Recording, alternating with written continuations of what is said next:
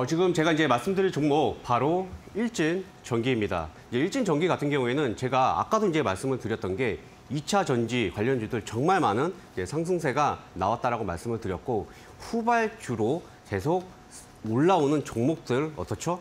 공략을 해야 된다라고 이제 말씀을 드렸고 바로 제가 공략에 대해서 말씀드렸습니다. 그래서 이제 일진 전기 뭐였죠?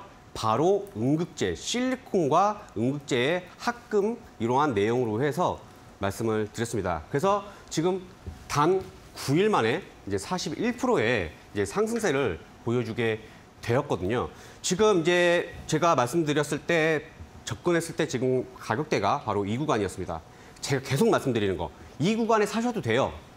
이 구간에 사셔도 되지만 P1, P2, P3 무슨 말씀인지 이해되시죠? 그래서 이러한 구간에서 이와 같은 상승세가 41%에 나왔다는 겁니다. 제가 말씀드렸죠. 포션 기법에 대해서 정말 많은 숙지를 하시고 시행착오 겪어가시게 되면 이러한 종목들 순수하게 우리 수익으로 가져가실 수 있다는 거 제가 직접 보여드렸고 앞으로도 제가 계속 보여드리게 될 겁니다. 그래서 지금 단기간에 정말 41% 정말 많은 상승세를 보여줬고요.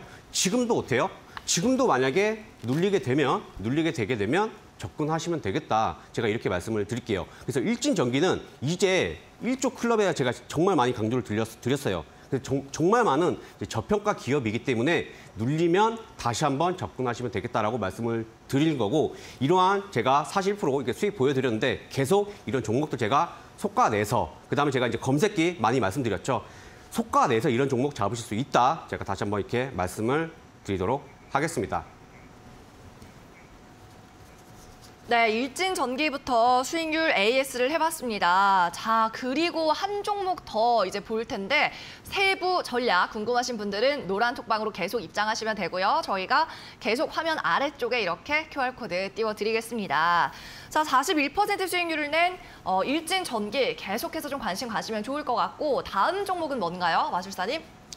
예, 다음 종목 같은 경우에는 바로 이제 태경 BK예요. 태경 BK는 제가 이제 말씀을 드렸던 게 바로 코크스였습니다. 그래서 태경 BK 하면 기억을 한 게 딱 두 가지였죠. 두 가지였죠. 유일과 바로 독과점이란 부분을 기억을 하시자라고 이제 말씀을 드렸습니다. 그래서 코크스에 대한 이러한 이제 미국에서 독과점으로 납품을 해서 다시 한번 이게 재가공을 하는 이러한 기업으로 해서 굉장히 기대감이 크다라고 말씀을 드렸고 목표가 더 갈 수 있다라고 제가 말씀을 드렸습니다. 그래서 단 4일 만에 17%의 상승세를 보여줬는데 깊은 조정을 받게 되면 어떡하죠?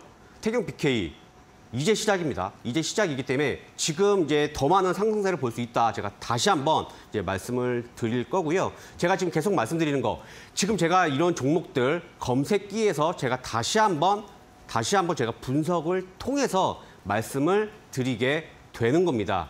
그래서 지금 제가 지금 계속 시행착오를 겪어야 된다라고 이제 말씀을 이제 드렸는데 만약에 지금 검색기를 이러한 구간들 제가 한번 말씀드려 볼게요.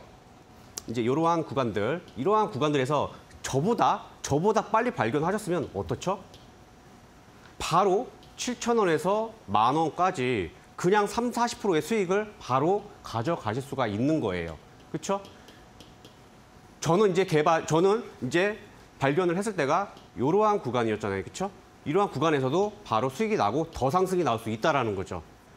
그래서 지금 제가 계속 말씀을 이제 드리는 게 포션 기법에 대해서도 말씀을 드렸고 지금 내가 어떤 종목으로 해서 수익을 낼 수 있을까 이렇게 지금 고민을 하시는 것보다는 이러한 종목을 몇 개 종목 안 됩니다. 하루에 나오는 종목이 그거를 선별을 해서 이러한 종목들을 수익을 보시면 되겠다라고 말씀을 드리고 이게 정 어렵다라고 하게 되면 제가 종목들 계속 뽑아드리고 있으니까요. 예, 이런 뽑은 종목으로 해서 수익 많이 보셔 보시면 되겠다. 제가 이렇게 말씀드리도록 하겠습니다. 네, 이렇게 일진전기 목표 주가 7,500원이었는데 초과 달성을 한 모습 살펴봤고 태경 BK도 독과점 메리트를 가지고 있는 종목이다라면서 말씀을 해주셨는데 어, 검색기 등으로 직접 솎아 내신 종목들이고요. 수익률 현황도 아주 좋은 모습 확인을 했습니다. 아, 그런데 마술사님 그 검색기 말이죠. 말씀을 하셨는데 어떤 식으로 종목을 솎아 내서 우리에게 알려주는 건가요? 예, 제가 이제 말씀을 이제 드렸는데 바로 거래량 제가 이제 portion이라고 하는 건 뭐라고 말씀드렸냐면 주가는요 어차피 우리가 강- 항상 이제 관심을 갖고 있는 게 바로 상승에 대한 부분만 관심을 많이 갖게 되어 있습니다. 그래서 예를 들어서 천 원에서 뭐 500원이 올랐네, 2천 원이 올랐네 이렇게 상승폭만 기억을 하고 있는데 그거 상승이 나오기 전에 제가 항상 말씀드리는 거 바로 에너지가 차여져 에너지가 차야지만 급등이 나온다라고 말씀을 드리는 겁니다. 그래서 검색기에는요, 바로 이러한 에너지를 채워, 채워지는 이러한 그러한 종목군들을 선별해 드리는 그러한 일차적인 작업을 해 드린다라고 이해를 해 주시면 될 것 같고 그 안에서 뭐 재료와 이런 부분들 다시 말해서 시행착오, 시행착오에 대한 부분 정말 이 디테일이 굉장히 중요한데 이러한 디테일을 통해서 방금 보여드렸다시피 40%, 50%, 100%까지 예, 수익을 보실 수 있는 그러한 검색기라고 예, 이해를 해주시면 되겠습니다. 네, 일단 거래량 등으로 검색기로 한 차례 속가내고 종목을 걸러낸 다음에 우리 테마술사님께서 뭐 재료의 크기라든지 중요성이라든지 상세 정보를 확인하셔서 여러분에게 히든 종목을 가져다 주고 있습니다. 공부를 이제 시작해 볼 텐데요. 계속해서 노란 톡방에서는 상세 정보 또 주식 시황 받아볼 수 있으니까 어, 카카오톡 채널로 입장해 보시기 바라고요. 네, 오늘도 함께 공부해 보겠습니다. 오늘은 어떤 종목의 포션 기법이 나왔나요, 마술사님? 예, 제가 이제 말씀드릴 종목은요, 바로 이제 KBG라는 이제 종목인데, 지금 이제 계속 말씀을 드리는 게, 지금 이제 이러한 종목들을 가지고 시행착오를 겪어야 된다라는 부분을 계속 말씀을 드리고 있습니다. 그래서 제가 지금 중간중간마다 저 방금 제가 이제 하디슈 때도 말씀을 드렸지만 이미 디테일에서 공략해야 될 부분은 이미 제가 다 말씀을 드렸어요. 그래서 이러한 거를 가지고 정말 아 내가 지금 타점이나 이런 게 너무 궁금하다 이렇게 많은 생각을 해주실 텐데 지금 내용만 집중하셔도 바로 공략 타점은 바로 지금 집중하신 분들은 어느 정도 이해가 되셨을 겁니다. 제가 이제 금일 같은 경우에도 예, 조금 지나가는 이러한 디테일들을 마- 많이 말씀을 해드릴 테니까요. 예, 끝까지 예, 집중해 주시면 되겠습니다. 일단 KBG는 제가 아까 일진전기 말씀을 드렸다시피 바로 이제 음극재 실리콘 관련해서 이제 바로 재료가 부각이 됐고요. 그 다음에 바로 제 포션 기법에 해당이 됐기 때문에 이제 바로 제가 뽑아낸 이제 그러한 종목군에 있습니다. 그래서 바- 방금 이제 보시다시피 이러한 내용으로 인해서 요거는 이제 더 이상 이제 말씀 안 드려도 될 것 같아요. 그래서 제가 너무 많이 이제 말씀을 드려서 요거는 이제 바로 넘어가겠지만 아마 이제 다음 주 정도에는 이제 이러한 부분들을 제가 좀 이렇게 설명을 좀 keep을 하는 이제 그런 부분을 말씀을 드릴 텐데 이제 금일 같은 경우에까지 제가 이제 이번 주까지 계속 말씀드릴 거예요. 그래서 좀 대략적으로 약 한 4,100만 주의 거래량이 이제 증가가 된 부분이 이제 확인을 하고 이게 지난해였죠. 그리고 나서 증가가 되었어요. 그러면 바로 이제 눈치가 채야 된다라는 거. 주식은요 속도전이잖아요. 그리고 눈치입니다. 그래서 눈치가 정말 빨라야 된다라는 거를 바로 포션 기법으로 해서 확인하실 수 있다라는 부분이 있고요. 그 다음에 이제 어느 정도 보시면 아시겠지만 이러한 구간들, 이러한 구간들이 굉장히 중요한 가격대라고 예, 봐주시면 되겠습니다. 그래서 이러한 내용을 가지고 바로 일봉으로 넘어가서 뭐 분봉과 호가창을 같이 보시고 공략을 하시면 되겠다라고 예, 이해를 해주시면 되겠습니다. 그래서 바로 이제 일봉으로 넘어가서 이제 말씀드려보도록 하겠습니다. 일봉을 보시게 되면요, 일봉에서 지금 제가 이제 필요 에너지는 이것도 이제 다들 이해가 되실 거고요. 그리고 이제 첫 포션에는 보셨다시피 이러한 구간들에 있습니다. 그럼 이러한 구간에서 제가 항상 말씀을 드렸죠. 이 구간에서 사셔도 상관이 없어요. 상관이 없고 대신 뭐만 하셔라 대응만 잘, 잘하시면 된다라고 제가 말씀을 드렸습니다. 다시 말해서 이러한 구간에서 많은 이제 긴장을 하실 수가 있어요. 어떻게 되면 비중을 많이 실으면 제가 말씀드렸죠. 이러한 지금 포션 기법은 단기간에도요. 아까 보셨다시피 뭐 40%, 50%, 80%, 100%까지도 날 수 있는 그런 하나의 기법인 기법입니다. 근데 이러한 기법에 이와 같이 100% 맞아 떨어질 수는 없기 때문에 이러한 하락률이 나온단 말이에요. 그러면 비중은 어느 정도 낮게 사고 그 다음에 이러한 자리 P1에서 공략을 했다면 P3에서 공략을 충분히 하실 수 있다라고 봅니다. 근데 여기서 뭐가 필요합니까? 여기서 살 수 있는 것보다는요. 제가 이제 주식은 신법이라고 해요. 여기서 손실이 15%뭐 이렇게 나게 되면 이 신법 이 신법이 흔들릴 수밖에 없, 마인드가 흔들릴 수밖에 없습니다. 이 흔들리는 마음 다시 말해서 기법에 대한 믿음이 있으면 오히려 이런 자리에서 자신 있게 추가 매수를 할 수가 있다라는 거죠. 그럼 그거에 대한 뭐가 필요해요? 확신이 필요하려면 결국엔 경험이 가장 중요하다라고 제가 계속 말씀드렸습니다. 그래서 지금 이러한 구간에서는 어떻게 내가 진입을 할 수 있는지 타점은 아까 제가 말씀드렸어요. 이러한 부분을 보시면 될, 연관성 있게 보시면 될 것 같고 그 다음에 이러한 구간에서 만약에 P2에서 진입을 하게 되면 어떻죠? P2에서 진입을 하게 되면 지금 이 P3에서 진입을 할까요? 안 할까요? 하실 필요 없습니다.